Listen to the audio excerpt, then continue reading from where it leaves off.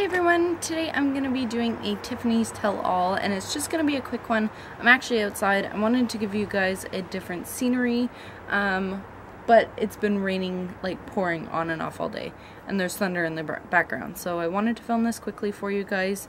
Um, and today's topic is Makayla's suction.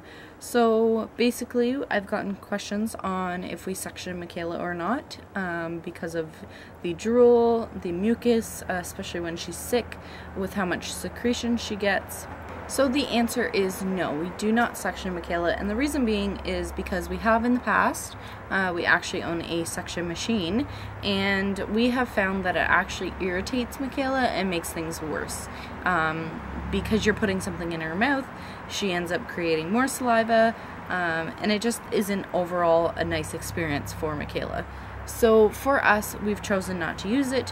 However, when she's sick in hospital, yeah, there are times that we use it, her suction machine was actually covered by the government when we got it and every five years you can renew it and get a new one. So ours is pretty old, pretty yucky. Um, we actually are hoping to get a new one. I have the paperwork filled out and I just send it, have to send it off. We would like to have it on hand just for long trips in the car um, and for emergency purposes.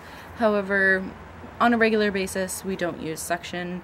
Um, just mainly because it irritates her. So I hope that answered your questions on that subject. If you have any other comments or questions about that subject, please leave it in the comments below and I'll be sure to answer them in another video or in the comments. Thank you so much for watching.